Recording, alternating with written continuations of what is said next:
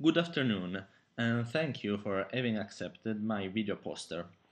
I will talk about vacua in supergravity theory. Specifically, I will present results obtained in a project carried along with Professor Gianguido Dall'Agata and Dr. Gianluca Inverso at the University of Padua on maximal supergravities in five dimensions.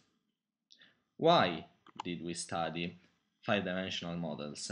They are not interesting from a phenomenological point of view, as it is well known, but there is plenty of reasons to analyze those theories.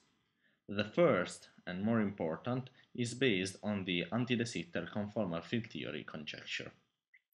It is well established that the supergravity scalars represent couplings for the operators in the conformal field theories living on the boundary, especially for the relevant and marginal operators.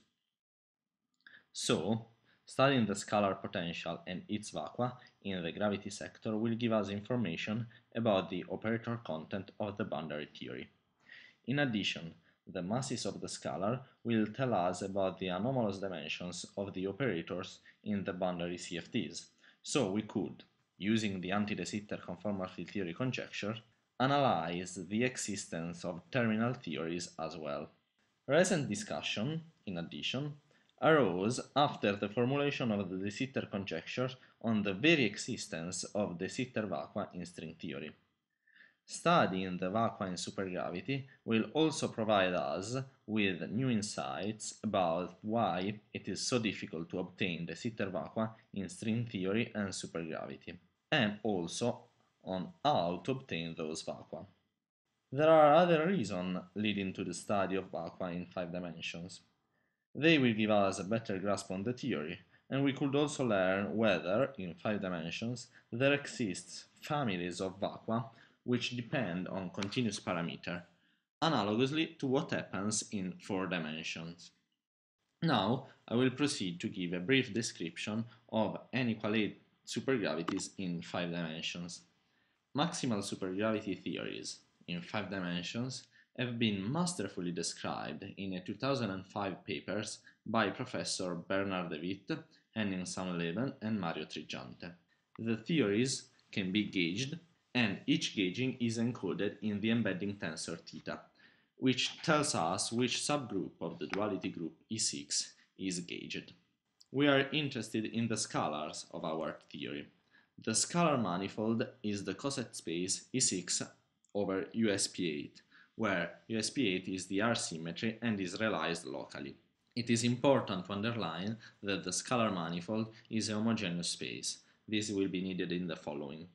In addition, supersymmetry and gauge symmetry impose some conditions on the theta tensor, which consist in a linear constraint imposing that theta belongs to the 351 representation of E6 and in a series of quadratic constraints. These constraints are then transferred into a series of conditions on the T-tensor, which appears in the Lagrangian inside the mass terms of the fermions and as shifts in the supersymmetry transformations always for the fermions. In addition, the T-tensor can be used to describe the scalar potential. Having introduced the necessary background, we can move to the analysis of the method and techniques used to find the vacua.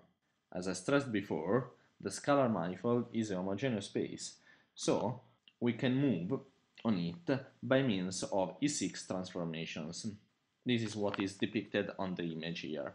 This allows us to look for vacua of the theory in a fixed point without choosing the gauging, and so the form of the embedding tensor a priori. Thus, we imposes the constraints on the T-tensor and we look for vacua with arbitrary gauging. These vacua, which are at a fixed point of the coset manifold, correspond to vacua in an arbitrary positions but with fixed gauging.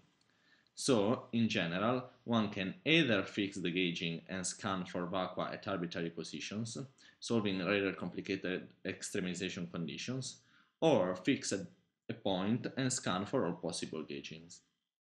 We chose to adopt the latter, which allows us to produce analytical results by leaving the gauging not constrained a priori.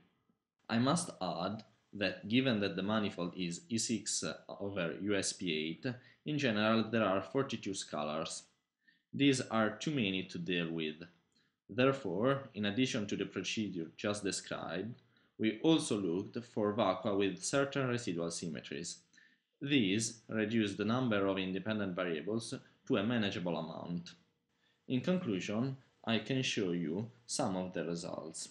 We can see that there are three anti-de Sitter vacua, which have the same gauge group, SO6, but with different residual gauge symmetries. They also preserve different amounts of supersymmetry.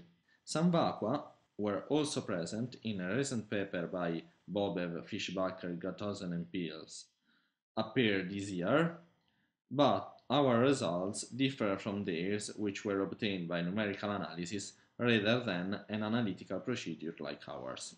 I must add that some of these vacua were already present also in a famous paper by Gunaydin, Romans and Warner uh, appeared in 1985. We also produced the complete spectra of masses which were unknown previously. We can see, for instance, that there are 15 massless vectors in the first case, 8 in the second and 10 in the last. This agrees with the residual gauge groups, which are SO6, SU3 and SO5 respectively, with 15, 8 and 10 generators. Let me stress again that all these results are analytical thanks to the power of our technique and we can also compute exactly the mass spectra because all the procedure was analytical. Many new vacua have been found but not yet reported.